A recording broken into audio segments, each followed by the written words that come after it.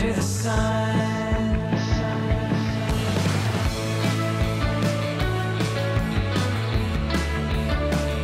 Polar ice caps are disappearing at an alarming rate. As a result, more and more icebergs are showing up in the warmer waters of Canada.